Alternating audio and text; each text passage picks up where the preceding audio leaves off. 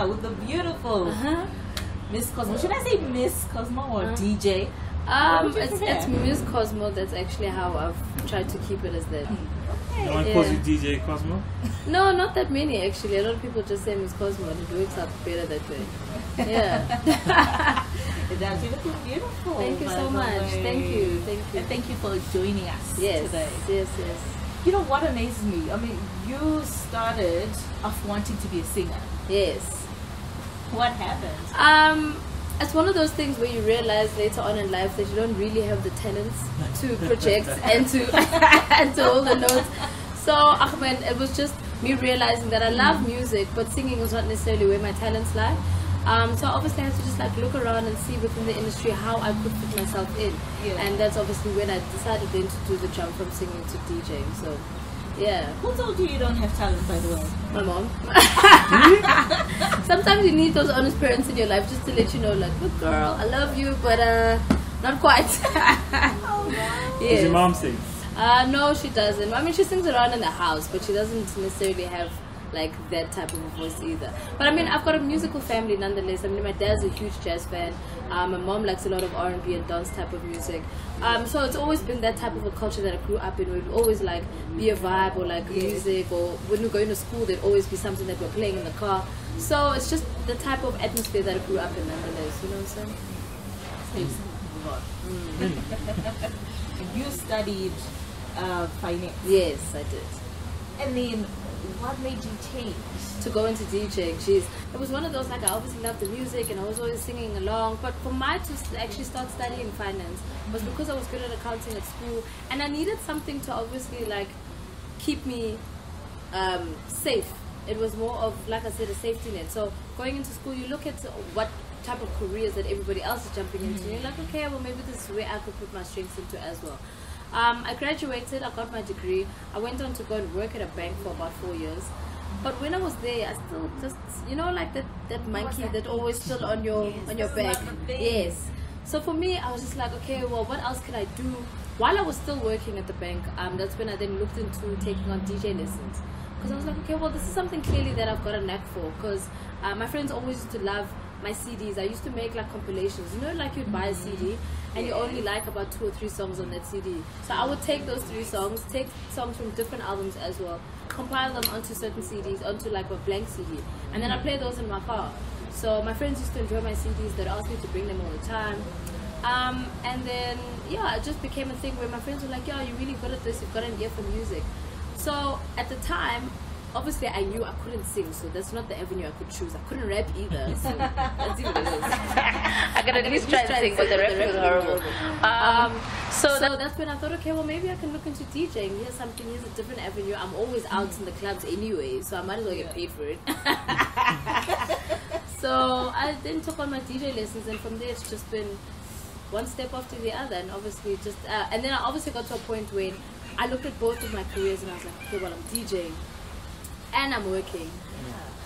It got to a point where one of my jobs was actually suffering because I wasn't giving 100% of my attention. You know, so I was either giving 50% on the DJ, 50% on the work, which means I'm not excelling, I'm not supposed to, I'm not doing what I needed to do. So I had to make a choice. And at that choice, I was like, look, I'm only young once. I can always go back into corporate, I can always go back into YOLO. finance. um, so, YOLO. and I jumped. And I started DJing full time, and this is where I am now. I'm quite happy with my decision. How tough was it getting into the industry? Um, geez, it was a little difficult in the beginning. I think also because there's not that many female DJs, so just the concept of it was a little foreign to everybody else. Um, but I think for me, it was just the perseverance to constantly push. I mean, there's been time and time again where I've decided, let me just quit this and just like go back into a safer place where I know I'm yeah. getting money at the end of the month and it's safer. Um, but it was just, it was always just me always having to knock on the doors, knock on the doors. Even though they kept closing in my face, I had to make sure that I made somebody pay attention. Um, so it was extremely difficult for me to convince people that I could do what I was doing and that I was good at it. But eventually, when I did get the opportunity to try and shine, that's when things started changing, shifting for me a little bit. Um, when I joined YFM, I was doing YTKO. Um, it was just a, a mix show at the time on YFM once a week, Tuesdays. I was doing a 30 minute live mix. So it was part of that, like obviously pushing, speaking to the right people. Eventually, they called me, YFM called me, and they were like, listen, we hear that you're a female DJ, we're trying to grow new, fresh type of talent. Maybe you could be one of those people that you bring on at Y. And that's how I jumped into YFM. And then obviously from there, everything else just exploded because people started hearing about me, people started knowing who I was. And then I obviously started paying attention to my brand as well. But at the time, I was also still working, so it was just a little tough to like try and shift and change here and there. But it was cool. I mean, it was worth the experience. I was working for seven days a week. It was tiring. Monday to Friday. Monday into the office. Friday I leave late. Friday night I'm in the club up until Sunday, and then back again on Monday. It was. what, what exactly were you doing until YFM got that buzz that she, she is actually a must-have? Um, of the I think it was like I said, it was me always being in the club. So for me, I would Mm. always be out. I'd always be speaking to the DJs who were out there who were playing. I was speaking to the promoters who were hosting the parties. Yes. I was speaking to the my friends who were in the industry as well, who were like, okay, well maybe we could give her an opportunity. But it wasn't that. It's not like I just all, all of a sudden got like headlining spot. No, Yes. I would have to start like everybody else, where I would play the opening stage. Yeah. Sometimes I was playing for the bar staff while they were still cleaning up, or maybe even if they're closing the club. So I would be playing just for the people as they're sweeping up the floors. Yeah. No one possibly could have heard me during those times. Um, but it was just a, a gradual progression as I kept going with my career to obviously say, no, I will do it even if I have to play for free.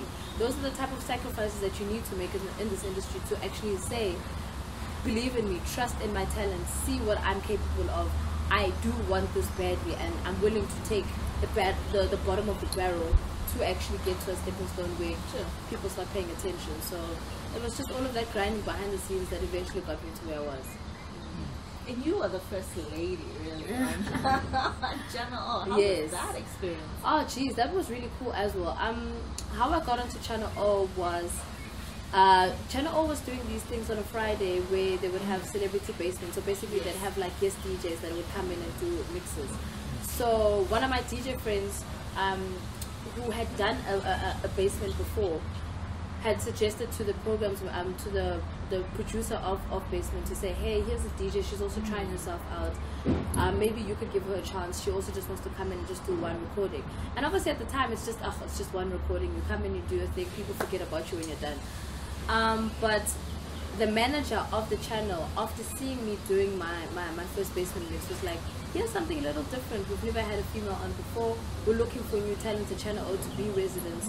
Um, would you like that opportunity? So after i had done my first basement that's when they called me in and they were like we like your difference we like the fact that you're female we like that you play hip-hop we like that you're doing something different which is a little bit fresh as well and that's when they took a chance on me as well and and that's how i jumped into channel o which is really cool So before all this, what, what's been your source of strength? Um, it's just been the love of music. I think that's been what it has been. Um, because at the end of the day, I mean, the reason why people love music is because music is like a euphoria. It's basically like a place that you just that you run away to, so that you can just feel free and you can let your stresses out. So for me, it's always been, but I love the music. As tough as it can be, I can say, oh, I'm too tired to get up and go to the club. Oh, I don't want to go there. I don't feel like facing people. But the minute you press play, and you see the smile on people's faces because you've played their favorite song, that just makes it all the more worth it. So for me, it's always been the music, and that's what's been my passion to actually get me through. So even when you're having a really a down The moment, most horrible. no getaway spot. No way whatsoever. I mean, there were, I mean, when I was double timing, when I was still working and I was DJing, you can imagine how tiring it was. I would have woken up that day at five o'clock in the morning Yeah. to get ready for work. Tra- um, tread through the traffic to actually get to the office, be in the office the entire day. I'd probably only knock off at work maybe said like 5, 6 o'clock p.m. Yeah. So I'd been awake since 5 a.m. Then still have to go home, freshen up, and then go to the club. Days like that are tiring, number one. Number two, if it's a rainy day, when all you want to do is just sit at home. Oh my gosh, you just want to shoot yourself like, no, I have to go to the club. to do it. But you have to do it because that's what you love and that's what you do. So Yeah. it's always been about the passion for me. And the glam? Has the glam gone too? Um, swallow that. And beautiful, you are. you know this. well, look, I mean, I mean, the glam aspect of it is like it's it's, it's part of the brand building. So you kind of have to fall into that if you want to portray yourself as a certain individual within this industry. Um, so I mean, I did get into it. I had to get into it. I enjoy it. I mean, I'm a girl, so uh, most girls like looking pretty. We like doing our hair. We like putting on makeup. You know, we like putting on heels. So those things were slightly come already came naturally, but for me, I had to amplify it a little bit more. Um, so I have gotten into into the groove of things, and it's pretty cool. So I mean, it's fun to play dress up. I don't know any girl who doesn't like playing dress up, so it's fun. Yeah. What would you say are the major challenges that you've faced? Um, being taken seriously as a girl, I think that was just the one thing. Um, because at the end of the day, I always have to, I always have to prove myself 110% more than the boys do. I always have to look the part. I always have to have the skill. I always have to know what I'm talking about. Um, and and and I always have to make sure that people don't doubt whatever I'm doing. Because the Yeah. minute they doubt me, they completely cancel me out. As opposed to the guys, they could be like, "Oh no, there was that one thing that you said. Oh, it's fine. We'll push it aside." So with a girl, I always have to be on top of my game, 110%. I always have to mix properly. I always have to, um, I always have to portray myself within hip hop really well. And if I were to decide to even get into a different sphere, maybe even start making music or whatever the case may be, I'll be scrutinized a little bit harder than the guys purely because I'm a girl and this is not a girls' club. It's a boys' club. Do you know what I mean? So, um, it's been tough, but I think I've gotten to a point where the guys actually respect me for what I do because they know that I will deliver when they do ask me to come and perform. You know, so yeah. Do you have any people that you're mentoring? Um, I don't have anybody that I'm mentoring as such, but I do. I do obviously try and do my bit here and there. I mean, I have this this feature on my show, uh, on my on my radio show called The Rap Factor. So it's not necessarily me mentoring as as as a full on person who's who's taking on their career, but with that feature, I basically send out a beat and, and try and get MCs to send back maybe say like um, 16 bars or whatever of their best rap lines that they could freestyle over the beat. And whoever the winner is at the end of the month will then get an opportunity to record with with with a um, uh, a prominent producer here in South Africa. So because I've obviously got those contacts within the hip hop space, so I would speak to someone maybe say like 37 MPH who's worked with the likes of JR, Kuli Chana, Double HP, or maybe I speak to like a Tweezy who did half of AKA's album, or a PH who does a lot of Cash Times music and and with Kuli Chana as well. So for them, for the the the the artists themselves, that is an opportunity that they would oh, never get from anybody. Mm-hmm. So I've kind of basically taken that on as one of my projects that I work on. And a lot of my winners are, are, are- are usually people who come from different sides of South Africa. So a lot of them come from the Eastern Cape, some come from Cape Town, others from Durban. A majority of them have never been on a plane before, so that's already an experience. Oh. Or they've never worked with a huge producer like that, and they actually get to have that experience and say they've recorded a song with that producer and they've learned something on that day. So that's just one of the things that I'm working on. Obviously, once I, I get my foot around it, I'll amplify it a little bit more, and then it will it will get a little bit bigger. But it's it's still a small project for now. Making a difference. Yes. So what would you say, you know, where have you actually been through certain times in the industry where you just go like, ah, can I just leave this? really? Um, it's. I mean, there has been times. I mean, I think the toughest part about this industry is is is the constant hustle. You always have to be on top of your game. So the hustle part of it is the fact that you need to make sure you're always getting booked. Number one. Number two, people are aware of you and they want to pay you. Being a debt collector wasn't part of wasn't part of the plan. But you already have to constantly chase people for your money. Sometimes you're just like, can I just go back to corporate where know on the 25th I'm getting money and it's over, you know? Um, Yeah. But that's I, I think that's the only part where I, I always cringe because I'm like, am I gonna get my money worth? Am I gonna get the payment? But uh, outside of that, I mean, like I said, the joy is always within the actual being out there, Doing being with job. people. Because I'm a people's person, so I like interacting with people, seeing what music they like to hear. Um, Playing for the crowd is what I, I enjoy doing as well.